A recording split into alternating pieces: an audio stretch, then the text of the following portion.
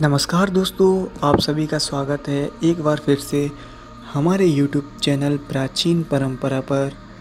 दोस्तों, आज मैं आपको बताने जा रहा हूँ कि यदि आप अपने स्वप्न में मधुमक्खी मधुमक्खी देखते हैं तो इसका क्या मतलब होता है? दोस्तों, क्या यह स्वप्न आपके लिए अच्छा है या बुरा? तो आइए जानते हैं।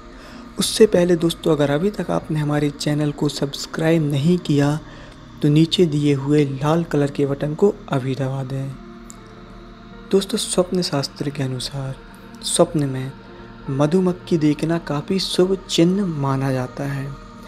इससे धन और प्रसन्नता आपको प्राप्त होगी। गरीबी से भी छुटकारा पा लेंगे। प्रत्येक वस्तु आपके लिए लाभदायक होगी।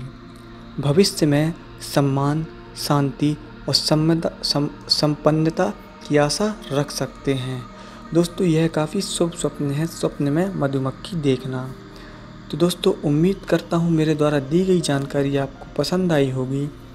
अगर आप यह मेरा वीडियो यूट्यूब पर देख रहे हैं तो चैनल को सब्सक्राइब और लाइक ज़रूर करें। धन्यवाद।